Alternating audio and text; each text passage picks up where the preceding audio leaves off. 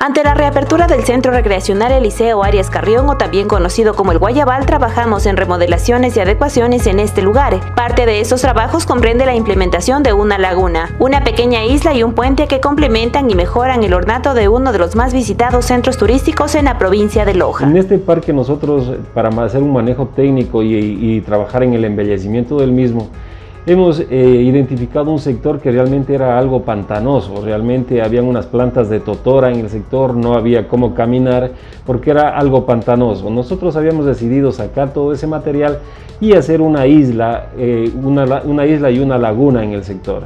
Esto se lo hizo ornamentalmente, está acompañada de alimentada de agua bajo una quebrada artificial que se hizo y a la vez estamos haciendo un puente para conectar la isla, eh, conectarnos con esta isla.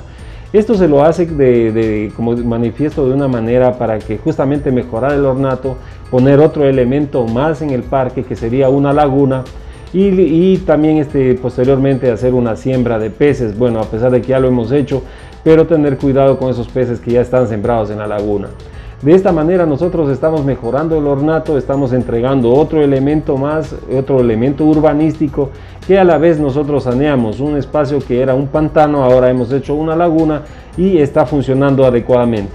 En este momento nos encontramos en la etapa de construcción de un puente para conectar eh, las islas, la isla, perdón, con dos puentes que conectarían a lo largo de la laguna.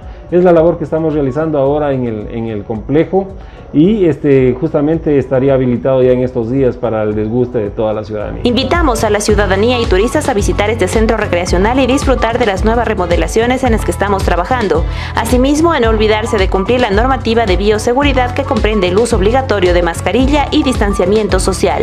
Quien ama construye, no destruye. Abogado Armando Figueroa Gurto, alcalde del Cantón Catamayo.